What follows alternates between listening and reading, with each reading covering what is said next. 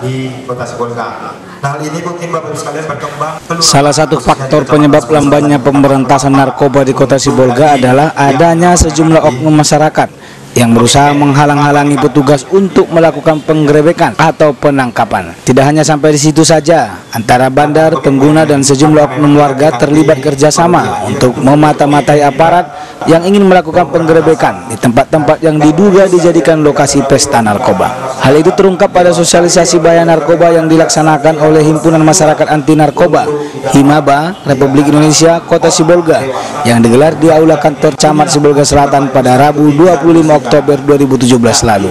Dalam sosialisasi yang menghadirkan narasumber dari pihak kepolisian dan Hima BRI ini juga disimpulkan bahwa selain pemberantasan narkoba merupakan tanggung jawab bersama, peran kepala lingkungan pun menjadi sangat penting untuk menjadi mata dan telinga aparat dalam mendeteksi titik-titik rawan yang sering dijadikan tempat pesta narkoba oleh sejumlah oknum masyarakat di lingkungannya. Kepala lingkungan dituntut berani dan siap menghadapi risiko apa pun sebagai dampak upaya memutus mata rantai peredaran narkoba di kota Sibolga yang sudah berstatus darurat narkoba. Kepling sangat strategis dan sangat dan itu sudah diatur oleh undang-undang. Kerjasama Kepling dengan polisi, dengan petugas, bahwa Kepling membantu memberi informasi kepada petugas bila mana ditemukan di dalam masyarakat ada warga ataupun warga pendatang yang menyalahgunakan narkoba baik pemakai maupun pengedar. Kepada Bapak Ibu khususnya Kami berharap Kepling juga akan melaporkan untuk mengadakan rehab kepada korban-korban pemakai narkoba.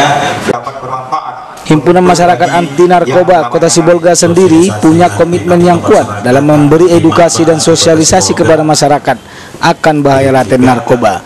Himaba RI giat bersafari menggelar sosialisasi di sejumlah tempat di Kota Sibolga yang rutin dilaksanakan satu kali dalam satu bulan. So, uh, Himaba selalu berupaya untuk melakukan sosialisasi kepada masyarakat agar masyarakat memahami bagaimana bahaya narkoba itu sangat membinasakan. Nah, jadi target Himaba itu sebenarnya hanyalah sebatas sosialisasi. Nah, dengan sosialisasi ini kita berharap, berharap semua seluruh kelurahan, seluruh kecamatan, seluruh lingkungan terjangkau oleh sosialisasi Himaba. Karena memang inilah komitmen kita. Karena narkoba di Sibolga ini kita lihat sudah darurat sekali. Demikian kabar Sibolga hari ini. Saya Samsul Pasaribu